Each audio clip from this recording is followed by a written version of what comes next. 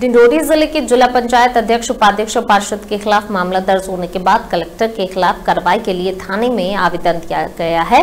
दरअसल, राज्य के स्थापना दिवस कार्यक्रम के दौरान जिला पंचायत अध्यक्ष, उपाध्यक्ष और पार्षद सहित अन्य ने निमंत्रण पत्र में भी कांग्रेस नेताओं के नाम नहीं होने का विरोध करते हुए प्रशासन के खिलाफ जमकर नारेबाजी की। इस घटना के बाद तीनों के खिलाफ थाने में मामला दर्ज किया गया।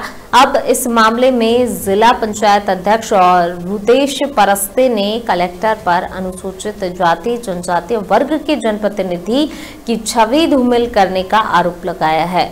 इसके साथ ही कोतवाली थाने में शिकायती आवेदन दिया गया। उन्होंने शिकायत पत्र में कलेक्टर डिंडोरी रत्नाकर झा पर आरोप लगाया कि जब वे 2 नवंबर को दोपहर एक बजे कलेक्टर से मिलने उनके निवास पर, उनके दफ्तर पर पहुँचे थे, आरोप है कि कलेक्टर ने उनके साथ न सिर्फ़ अभद्र व्यवहार किया, अपितु हु आर यू जैसे शब्दों का प्रयोग भी किया गया।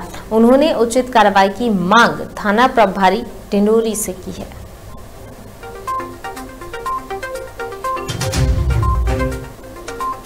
थाना कोतवाली जिला डिंडोरी में शासकीय कार्य में बाधा के संबंध में तहसीलदार डिंडोरी के प्रतिवेदन के आधार पर धारा 186 आईपीसी के अंतर्गत दर्ज किया गया है, जिसमें जिला पंचायत अध्यक्ष रुदेश परस्ते और उपाध्यक्ष श्रीमती अंजू व्यवहार, पार्षद रितेश जैन एवं अन्य के खिलाफ पंजीबद्ध किया गया है।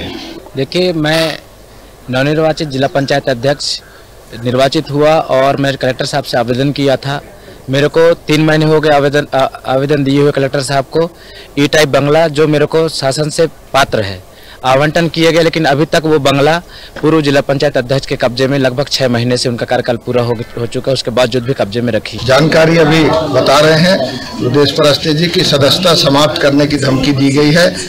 ये बहुत ही अनुचित है और माननीय मुख्यमंत्री जी जो प्रदेश के मुखिया हैं, मैं उनसे अनुरोध करना चाहूँगा कि आप लोकतंत्र को पूरी तरह से किस तरह से, किस दिशा में ले जाना चाह रहे हैं, ये बहुत अनुचित कार्य कलेक्टर साहब कर रहे हैं।